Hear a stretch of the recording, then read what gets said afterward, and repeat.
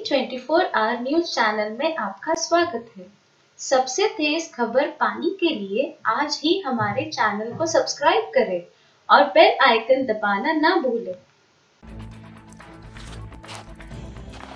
UP के कानपुर में police ने साइबर ठगों को सिम सप्लाई करने वाले गिरोह का भंडाफोड़ करते हुए दो अभियुक्तों को गिरफ़्तार किया है। पुलिस के अनुसार थाना गोविंदनगर क्षेत्र में क्राइम ब्रांच और पुलिस की संयुक्त कार्रवाई में पुलिस ने दस हज़ार से अधिक प्री एक्टिवेट सिम सहित सैकड़ों फर्जी आधार कार्ड बरामद किए हैं, जिनका उपयोग ठगी के लिए फर्जी फ़ोन कॉल करने में होता था। इस्तेमाल सभी mobile, sim card, Vodafone, Idea company के फर्जी आधार कार्ड द्वारा एक्टिवेट किए जाते थे। सिम छत्तीसगढ़, राजस्थान, बिहार, महाराष्ट्र, मध्य प्रदेश में होता था। कानपुर के, कानपुर से श्रवण गुप्ता की रिपोर्ट।